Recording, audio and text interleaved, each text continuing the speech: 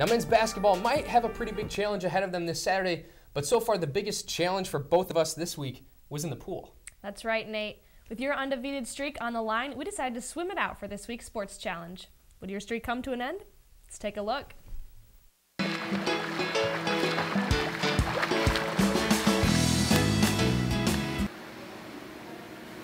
Oh, that's that's not happening. Nope, that's not.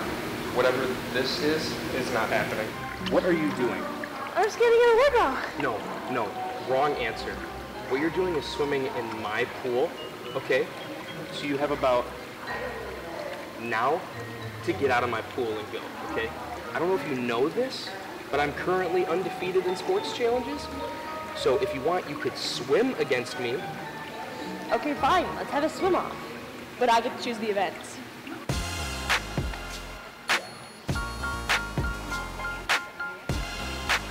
So, you want to start with like freestyle? Swim all the way down to the end and touch the wall, okay? How about not, and we just race to that conveniently placed orange cone right there.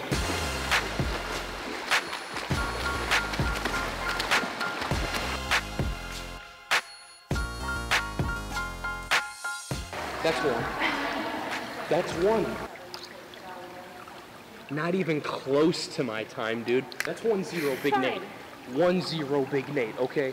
What about the backstroke? Let's see how well you do with that. Is this the right way to start?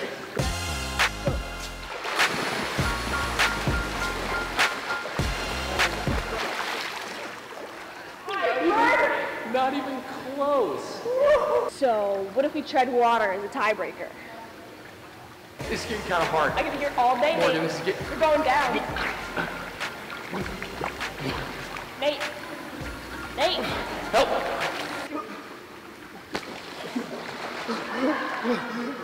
Morgan, you can say for at least this week that you have bragging rights and that you beat my undefeated streak for Sports Challenge. All right. Well, looking forward to more sports challenges. Of course. We'll see you guys next time. So, this is what it's like to lose.